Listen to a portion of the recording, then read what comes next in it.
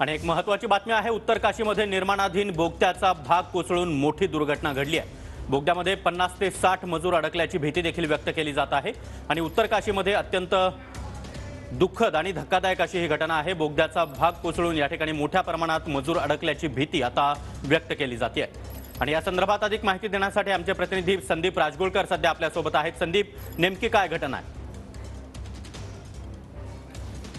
दिली आहे. आज पहाटे पाचच्या सुमाराला बोगद्याचा काही भाग हा कोसळलेला आहे आणि त्या बोगद्याचं काम सुरू असताना आतमध्ये जवळपास पन्नास ते साठ कामगार होते. अजूनपर्यंत जीवितहानी झाली नसल्याचं प्रशासनाकडनं सांगण्यात आलेलं आहे. कारण ऑक्सिजनच्या दोन पाईप जे आहेत ते त्या पाईप बोगद्यामध्ये सोडण्यात आलेल्या आहेत. जेणेकरून त्या कामगारांना श्वासोश्वास घेताना अडचण होऊ नये.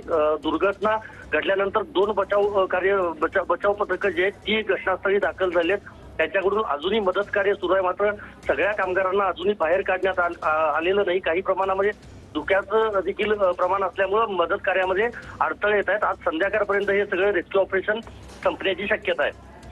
नक्कीच संदीप ही दृश्य आपण पाहतो आहोत. अशा प्रकारे उत्तर काशीतील हा बोगदा आहे आणि या बोगद्याचा काही भाग कोसळून ही मोठी दुर्घटना घडलेली आहे. आतापर्यंत पन्नास ते साठ मजूर अडकल्याची भीती देखील व्यक्त केली जाते आणि ह्या मजुरांना बाहेर काढण्यासाठी आता सरकारचे देखील कसोशीचे प्रयत्न सुरू आहेत. ही दृश्य आपण पाहतो आहोत बोगद्याच्या आतील आणि या ठिकाणी ऑक्सिजनची व्यवस्था देखील करण्यात आलेली आहे. कारण अडकलेल्या मजुरांना या ठिकाणी ऑक्सिजन पुरवठा व्हावा या उद्देशानं ही व्यवस्था करण्यात आलेली आहे. मोठमोठे मशीन्स या ठिकाणी लावण्यात आलेले आहेत आणि सध्या युद्ध पातळीवर हे बचाव कार्य सुरू आहे. ही दृश्य आपण पाहतो आहोत. उत्तर काशीमधील बोगद्याचा काही भाग कोसळून अशा प्रकारे मोठी दुर्घटना घडलेली आहे आणि आतापर्यंत जीवितहानीची माहिती अद्याप समोर आलेली नाही. मात्र पन्नास ते साठ मजूर अडकल्याची भीती आता व्यक्त केली जाते आणि उत्तर काशीमध्ये सध्या हा निर्माणाधीन बोगदा आहे. या बोगद्याचं काम सुरू असतानाच या बोगद्याचा काही भाग कोसळून ही दुर्घटना घडली आहे.